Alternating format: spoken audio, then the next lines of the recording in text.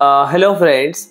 Hello friends and welcome back to the Tech Legend channel. So friends, today I will talk about Geekom GT1 Mega Mini PC with 14th generation Intel Core Ultra processor. So friend, the Geekom has announced the GT1 Mega is a beautiful a aluminum chassis with plenty of I.O. including two full functional 40GB PS USB 4 Type-C and 6 USB Type-A and two HDMI 2.0 port and 3.5 mm audio jack, an SD card reader, and dual Ethernet port, and the two Ethernet port jack from both 2.5 gigabit standard, which not only deliver high speed and reliable internet connection for people's daily computing choice.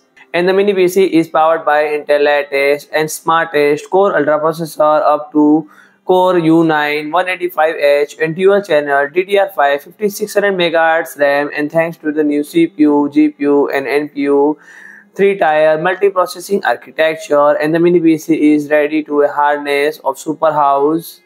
The superpower of artificial intelligence and it comfortable with more than 500 AI models across 20 plus categories and support high performance low power processing in a wide range of computing scenarios which include enhancing facial features and blurring the background during video call removing the vocals from songs to create karaoke tracks and generative large scale images based on text or voice commands. So friend if you like my video please do like, share and comment and don't forget to subscribe my channel and press the bell icon.